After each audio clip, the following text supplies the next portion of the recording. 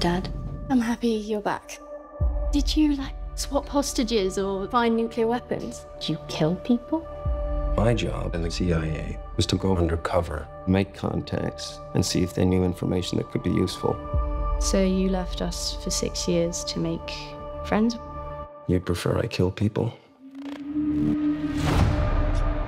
How much longer is the unit planning on watching me 24 7? Psychological well being is an agency wide priority. You may suffer from chronic hypervigilance like many returning agents. So, is it possible that you have something to hide? You're in London. Me too. And my mission, I was in a relationship. It's complicated. You and me forever. You and me. If anything points to her playing you. She's not in the game.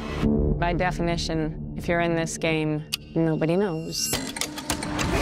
You were undercover for years. People come back damaged from that. It has to stop. I know how hard this is. Part versus job.